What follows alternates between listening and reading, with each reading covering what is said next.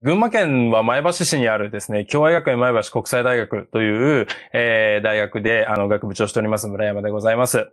で、えっ、と、本日はですね、えー、文部科学省のプラス DX に採択をいただきまして、で、それと、あとはコロナ禍という二つの側面の中でですね、本学が進めてきた、まあ、DX の、えー、形をですね、ご紹介申し上げたいということで、準備を、あの、してまいりました。で、あの、多くのですね、あの、ご参加の皆様が、は、あの、この共和学前橋国際大学ってそもそも、あの、なんだろうと。えー、いうふうにですね、ご存知のない方が、あの、ほとんどではないかなというふうに思いますので、えー、この DX に関係するところをですね、えー、中心にちょっと本学について簡単に、あの、最初ご説明をさせていただきたいと思います。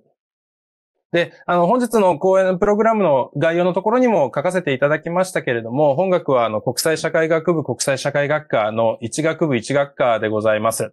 で、えまあ、その中にですね、え学問分野のアプローチによっって、え5つのコースに分けているんですけれども、いわゆる、あの文系というところが、あの、メインになっている。一部ですね、情報系の、え教員等いるんですけれども、基本的には、あの、先生方も含めて皆様文系の方が多い、まあ、そんな大学です。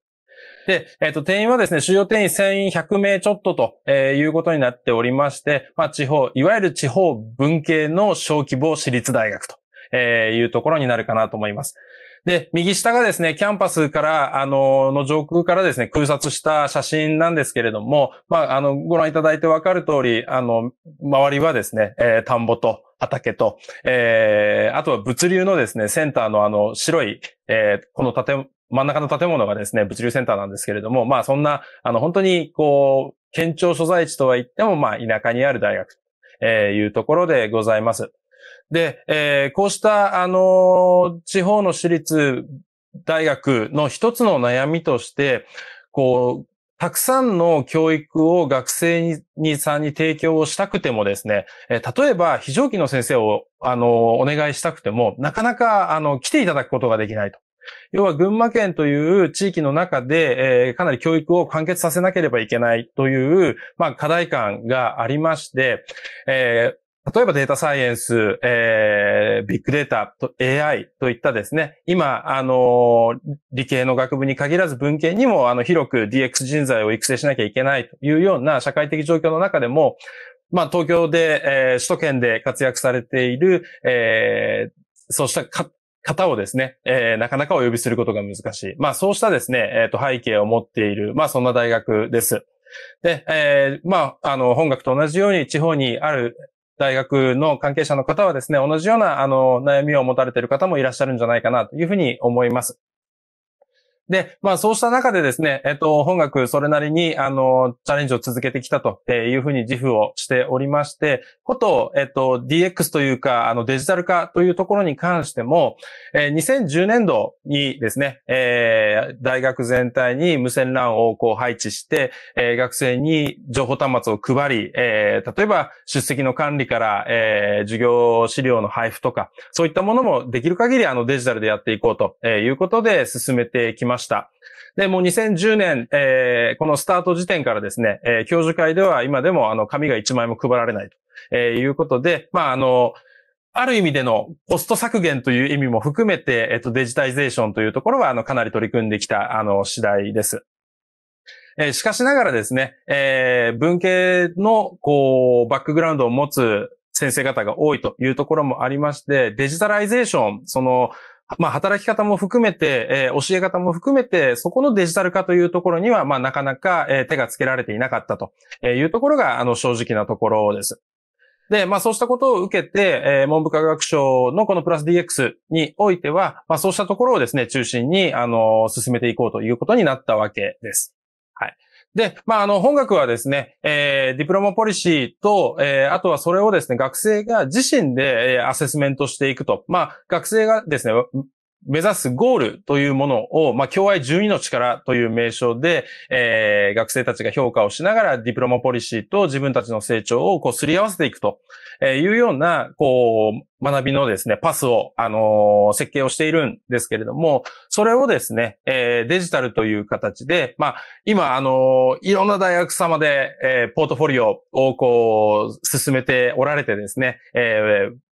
もちろん、あの、課題もありながらやっておられるかなというふうには思うんですけれども、音楽も、あの、共愛キャリアゲートというポートフォリオを設計しまして、まあ、そこに学びを蓄積しながら、えー、12の力と、こう、自分のですね、成長をすり合わせながら、えー、卒業、そしてその後の幸せな、えー、活躍につなげていくと、えー、キャリアに接続をしていくと。いうことを、これは、えー、文科省の AP の授業の中で始めたもので、今、えっ、ー、と、7年目になるかと思いますけれども、えー、学生たちと一緒に、えー、学びのポートフォリオを築いているところです。で、これがですね、実際にそのポートフォリオの、えー、画面でございます。まあ、これは、あのー、こういうところでお見せしてもいいように、あの、テスト学生のものなんですけれども、多くの学生がこれと同じようにですね、えー、取り組んでくれていると。で、えー、本学の場合は、先ほども少し、あの、申し上げました通り、小規模で、あの、教員の数も少なくですね、え、地域での活動というのをすごく大切にしておりまして、まあ、あの、地学一体の教育といつも、あの、申し上げてるんですけれども、要は、授業の中で学んだことだけではなくて、地域に出て、えー、地域の方と、えー、やったこと、それも実は皆さん、みんなの学びにつながっているんだと。えいう観点からですね、まあ日々の授業だけではなくて活動の記録、そういったものもこの12の力と紐付けながら、まあ学生たちがいつでも、えっ、と、確認をしたり、あるいは書き込んだりできるようにと。え実はですね、このシステムは学生たちのスマホの、えアプリケーションで、えー、管理しているカレンダーのですね、ソフトからそのまま書き込むことができて、えー、まあ自分の予定をカレンダーアプリに入れて、で、まあその活動が終わった後に、そこに感想というかですね、えっ、と、振り返りを書き込むと、えー、こうしたこの KCG と呼ばれるポートフォリオに自動的に反映されていくと。まあそんなですね、えっ、と、仕組みになっています。で、えー、ちなみにこの共愛キャリアゲートの画面を見ながらですね、年に一度、えー、ゼミ担当の教員と、えー、学生とかですね、えー、1対1で、あのー、面談を行って、えー、学びのパスのすり合わせと、えー、学生の成長と、えー、というのをですね、えー、確認するリフレクションというものを、あの、年度の初めに設けて、えー、います。で、えー、まあ、こうした背景を持ちながら、えー、先ほどですね、えー、ありましたように、2020年、まあ、2019年度の末から2020年度の、えー、頭にかけてコロナ禍というものが、えー、始まってですね、えっと、本学も他の大学様と同じように、えー、オンラインでの、えー、教育とえいうことに、え取り組まざるを得なかったわけですけれども、まあそうした中で、えプラス DX という、こう、枠組みができましたので、えー、そこにですね、本学がどのように、えー、アプローチしていったのかということについて、えー、ご説明申し上げたいと思います。で、まずは、あの、一番大事なのはですね、まあ、これはコロナ禍ということに限定するわけではないんですけれども、とにかく学生さんのですね、学習者本位の、えー、学習をしてもらいたいとで、さらに、まあ、本学は、あの、一学部ですけれども、えー、語学から国際関係から、えー、心理人間文化という人文系、そして小学校の教員養成課程という幅広い、あの関心を持つ学生たちが集まっておりますので、まあ、そのですね、個別最適学習というのを実現したいと。で、やはりそのデジタルというところの強みは、の一つはですね、えー、マスではなくて、えー、個別に最適化することができるというところにあるというふうに我々考えておりまして、先ほど申し上げた共愛キャリアゲートと、えー、そして、えー、LMS。本学はあの、Moodle というシステムを使っておりますけれども、それと、えー、そして、え、AI という、まあ、その、力というかですね、え、それを借り、借りて使って、え、それを実現していこうと。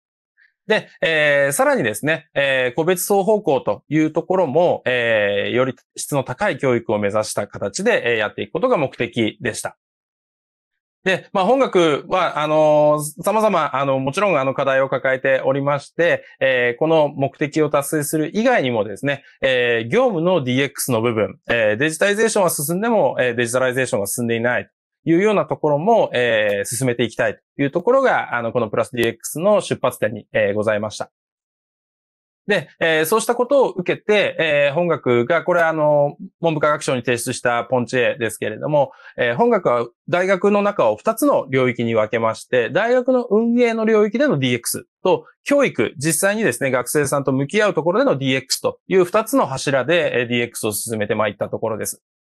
で、一番上に太字であの書かせていただいたのが冒頭申し上げました通り、え、地方はまあ多様な専門分野の人材が不足しているために、まあ多様な教育を用意しづらいという点。え、そして、え、まあ地方の場合は非常にですね、マーケットが特に群馬県はですね、あの私も群馬県出身ではなくて来てこう初めて強く感じたんですけれども、まあ山に囲まれているので、非常にですね、まあ、閉じたというか、そこの中はすごく暖かいいいところなんですけれども、なかなかこう外部との特に人的な、あのー、なんでしょう、流入、流出というのが、あの、少ない地域です。で、そうするとですね、多様な産業から多様なニーズが、えー、大学には求められるという中で、それの全てをですね、網羅した形の教育プログラムというのを自前で用意するのが非常に難しいと、えー、そういう状況でした。ですので、こうした弱みというのを DX で強化、あるいは補強することができないかと。で、これはもしかすると、多くの地方の小規模な、えー、大学さんで抱えている問題であるとするならば、えー、こうしたエッセンスがですね、えー、まあ、こうした機会を、あの、いただいたことなんかを通じてですね、えー、こう、僭越ですけれども、なんか示唆、示唆となればいいな、というふうに考えていたところでございます。で、えー、まあ本学の DX を推進するにあたって、えー、どうしてもですね、文系という枠組みの中で、えー、DX とかデジタル化とか、えー、IT とか、えー、そういった言葉を使うとですね、どうも、あの、それこそ AI 第二次ブームの時のようにですね、えー、なんか、えー、コンピューターや機械に仕事がこう全部シフトするのかと。えー、いうようなところが懸念されがちなんですけれども、本学はあくまでも、えー、DX の推進の中心は人ですと。いうことで、こう、組織的にですね、進められるように、あの、気をつけていたところです。で、まずはですね、教育 DX について、えっと、お話をさせていただくと、えー、これも、もちろん、コアの部分は AI や、えー、データや、えー、ICT といったですね、デジタルの部分ですけれども、まあ、それで学ぶのは、え人である学生であるし、えそれをですね、指導するのも、え人である、例えば教員だったり職員だったりと、えいうところで、まあ、人を中心とした AI を活用することをしていこうとえいうふうにやってまいりました。で、えー、本学がですね、まあ、一つ、あの、このプラス DX で大きく、あの、作らせていただいたのが、えー、複数のコンテンツを、えー、AI によってそれぞれの学生さんに個別に最適されたですね、えー、コンテンツをリコメンドしてあげるシステムというのをあの開発しようというところで出発をいたしました。で、例えばですね、えー、先ほどの共愛キャリアゲート e ポートフォリオの、えー、学生さんたちのコメントですとか、えー、LMS でに蓄積された学習データですとか、あとは、えー、アセスメントテストの結果、あるいは、えー、成績といったものを、えー、リコメンドエンジンに取り込んで、で、そして、えー、さらにコンテンツも、えー、エンジンに取り込んで、その学生さんに合わせて、えー、例えば動画をリコメンドしていくというようなことができないかということで、えー、これの設計構築を進めてきた、えー、ところでございます。で、えっと、これがですね、えっと、実際のあの画面でありまして、えー、すいません、あの、黒く隠しているところはですね、実際にあの、全然大学とは関係のない方、ない方というのもちょっと表現があれなんですけれども、えっと、YouTube の画面が、えー、学生さんには出ています。で、例えばですね、えー、学生さんがデータサイエンス入門という科目を受けている中で、えー、もっともっと、例えばこう学びたいとか、ここがわからなかったとか、えー、そういったコメントを入力して、レコメンドボタンを押すと、現在は、えっ、と、YouTube の動画コンテンツを使ってですね、えっ、と、その中から、えー、その学生の、えー、プロパティ、えー、先ほどの学習データとか、えー、e ポートフォリオに溜まっているデータと、このコメントというのを組み合わせてですね、動画で、えー、時間外学習時間を学んでみてはどうかなというレコメンドがされる、えっと、仕組みを、えー、運用をしています。で、まあ今の段階では、こう学習データをですね、蓄積、今まさにあの、途上のところでございまして、動き出して、えー、約1年、そろそろ経つかな、えー、というところなんですけれども、えー、学習データが蓄積、えー、していけばですね、よりこう、学生さんたちにとって有用なコンテンツを提供できるようになるかなというふうに考えているところです。で、えー、先ほどの、こう、専門人材が足りないという点に関しては、えー、例えば、YouTube の動画はもちろんそうですけれども、ユーデミーさん、あの、ベネッセさんが日本の代理店されておりますけれども、えー、そこと手を組んでですね、えー、まあ、特に地方の、あの、群馬県で、えー、なかなか、こう、確保することが難しい情報系の、あの、学びをですね、の支援というのを、あの、受けていたり、えー、あるいは、ま、コロナ禍でのオンラインっていうところで言うと、コイルが本格化しましたので、海外大学とのコラボレーションをより増やしてみたりと、えー、いうことを進めてきました。で、まあこれはですね、えっと、コロナ禍での対応というところで進んできたところはありますけれども、もう、あの、冒頭の、あの、ご挨拶にもありましたように、もうこれは代替ではなくて、より柔軟な形で、えー、今までの教育にこう追加をしていくと。で、それによって、よりいい教育が学生、えー、一人一人の学習者本位の教育ができればと、えいうところで、えー、これ、これからもですね、えー、ずっと動かし続けていくというようなところになるかな、というふうに思います。で、ここに、あの、担当というふうに書かせていただいたのは、えー、それぞれのですね、えー、まあ、プロジェクトというか、一つ一つの事項を、特に若手の、えー、職員さんであったり、えー、教員にお願いをしてですね、えー、まあ、情報のに対しての、まあ、リテラシーが高い、あるいは心理的ハードルの低い、えー、人たちが率先して、えー、取り組んでいくと。で、えー、上長はそれをこう認めてあげるというような形で本学の DX 進めていきましょうということで、えっと、進めてきた次第です。で、LMS の活用についても、えー、若手のですね、教員が中心になって、えー、サービスの変更を考えたりと、えー、あとは、教室のですね、えー、DX 化というのも、えー、進めて、これも、あの、総務部も、総務部のですね、若手職員を中心にやっていただきました。で、えー、まあ、文系ということもあって、誰でもですね、配信ができる環境というのを目指して、先ほど、あの、山口大学さんのですね、素晴らしい、あの、ハイブリッドな、えー、ハイフレックスな授業というよりは、もう、コンピューターとかそういうものが全く苦手だけれども、とにかく、えー、配信をして授業の風景をどんな状態でも学生に届けることができるというようなシステムの構築を目指して、えっ、ー、と、本学はですね、進めてきた、えー、ところです。